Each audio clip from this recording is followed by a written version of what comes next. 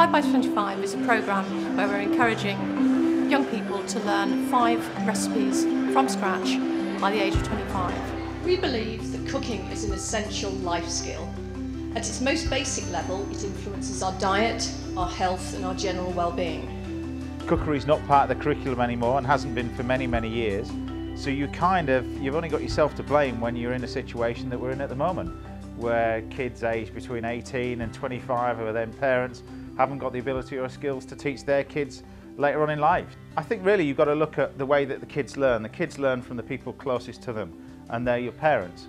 So how I learned to cook was from my parents. My mother learned to cook from my grandmother. These are generations and generations that if we don't pass that knowledge down, it's lost and it's lost forever. Food is such an important part of life. You are what you eat wherever you are.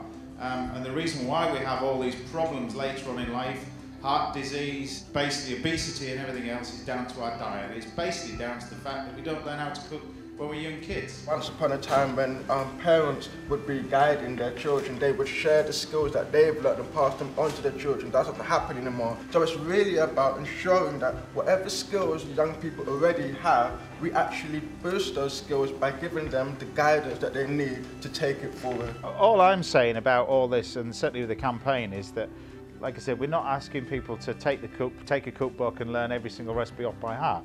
It's not the case. It's it's it's just five recipes by the time you're 25.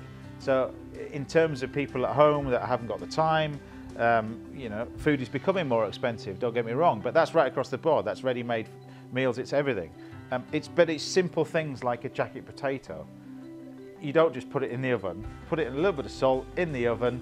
You know, simple things like that, a roast chicken dinner, a, a, a, burger or steak and chips, easy food like that, doesn't have to cost the earth, it's just simple cooking. I think 5 by 25 is pretty much needed. You know, um, a lot of young people are fed you know, ready-made meals, a lot of skills that they need and not learning. What young people need is someone inspiring in front of them and say, look, you can do this, it's not very hard. It takes half an hour, 15 minutes of your time, just do that. But it's that connection between getting something, putting it in a pan, cooking it, taking it out and eating it. Something that we've done all of our lives, we have done for thousands of years.